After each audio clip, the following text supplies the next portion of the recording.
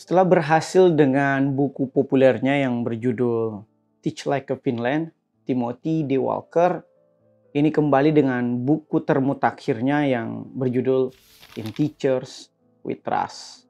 Nah, masih membahas seputar tema pendidikan, namun kini Tim Walker lebih fokus kepada topik tentang kepercayaan kepada guru. Apalagi dalam bukunya kali ini, uh, Tim Walker tidak sendiri, ia berkolaborasi dengan salah seorang penulis sekaligus profesor asal Finlandia yaitu Pasi Salberg. Nah, bagaimana pendidikan Finlandia menjadi pendidikan terbaik yang bertaraf dunia? Mari kita bahas.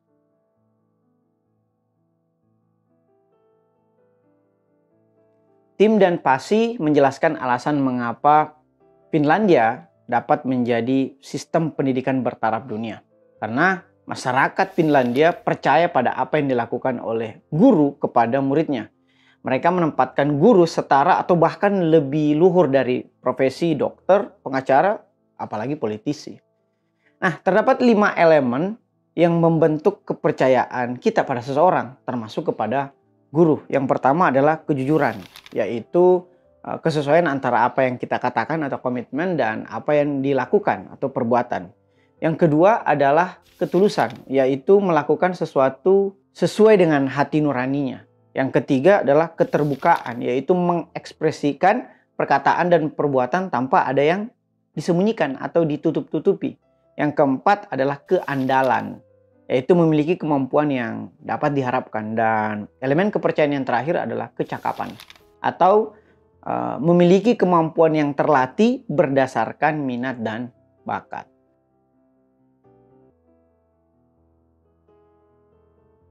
Selain berfokus kepada kelima elemen kepercayaan pada guru, masyarakat Finlandia juga mempercayakan pendidikannya itu kepada guru dalam tiga sentrum yang saling berjalin berkelindan satu sama lain. Pada sentra keluarga misalnya, orang tua mempercayakan anaknya untuk mandiri dan pergi ke sekolah, bahkan pergi membeli bahan belanjaan rumah meskipun anak tersebut baru berusia sekitar 9 tahun. Pada sentra masyarakat, para warga percaya kepada apa yang dilakukan guru adalah tentunya demi memberikan yang terbaik kepada peserta didik atau murid.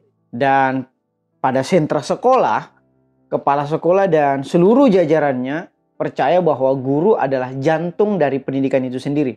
Sehingga memberdayakan guru adalah kunci bagi pemberdayaan sekolah dan pendidikan pada umumnya. Pertanyaan kemudian, mengapa guru mendapat kedudukan yang luhur atau prestisius di sistem pendidikan Finlandia? Setidaknya ada empat alasan. Yang pertama adalah karena guru dianggap sebagai bukan hanya pekerjaan atau kontrak belaka, melainkan profesi yang bahkan lebih terpandang dari profesi dokter ataupun pengacara. Yang kedua, karena guru merupakan profesi, dalam hal ini profesi yang luhur dan prestisius, maka rekrutmen atau upaya untuk merekrut seorang guru itu tidak semata atas berdasar kecerdasan akademik belaka, melainkan uh, kesesuaiannya terhadap minat dan bakat. Jadi meskipun Anda lulus dari fakultas pendidikan yang mana di Finlandia ini adalah fakultas yang paling uh, terpandang, itu tidak menjamin Anda langsung jadi guru. Bahkan bisa saja Anda tertolak untuk mendaftar di sekolah-sekolah tertentu walaupun Anda berasal dari background fakultas pendidikan. Dan sebaliknya, meskipun Anda seniman, pengusaha, atau bahkan artis, namun jika Anda memiliki minat dan bakat dalam mengajar tentunya Anda bisa saja diterima sebagai guru. Nah, yang ketiga alasan mengapa guru sangat dipercaya di Finlandia adalah karena kebijakan pendidikan termasuk kurikulum itu disesuaikan dengan keragaman lokal distrik atau daerah masing-masing di negara Finlandia tersebut. Sehingga dampaknya tentu adalah kemandirian guru dalam mendesain pengajaran mereka dengan kebutuhan murid dan zaman. Sebagaimana Atsar Imam Ali bahwa didiklah anakmu sesuai dengan konteks zamannya. Dan alasan yang keempat, mengapa guru sangat dipercaya di sistem pendidikan Finlandia karena budaya yang ada pada masyarakat Finlandia itu sendiri.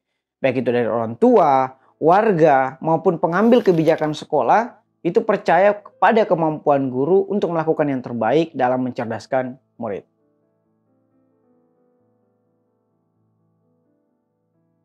Nah, lalu apa langkah-langkah atau pedoman yang dilakukan oleh Finlandia untuk mencapai pendidikan bertaraf dunia?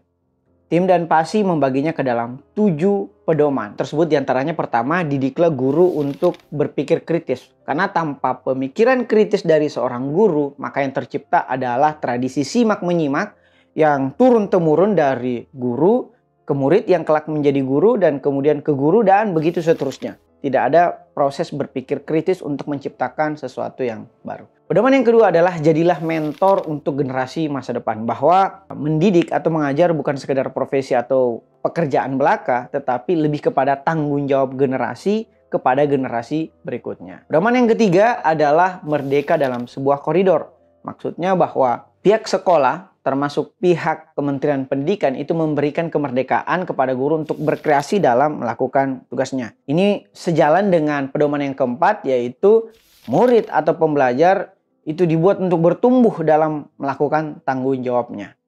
Adapun pedoman yang kelima adalah bermainlah sebagai tim. Jadi walaupun Anda sebagai seorang guru, namun tidak semua murid itu suka digurui. Menggurui mensyaratkan posisi superioritas guru berhadap-hadapan dengan inferioritas sang murid. Kesannya akan menjadi sangat kaku.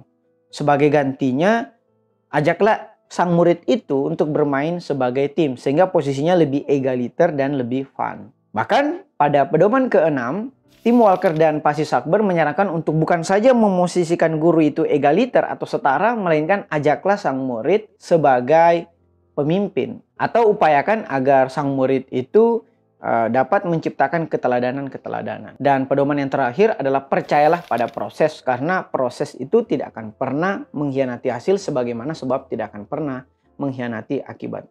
Itulah tujuh pedoman yang dilakukan oleh Finlandia untuk meningkatkan atau memajukan sistem pendidikannya menjadi sistem pendidikan yang bertaraf dunia. Sekian wassalamualaikum warahmatullahi wabarakatuh.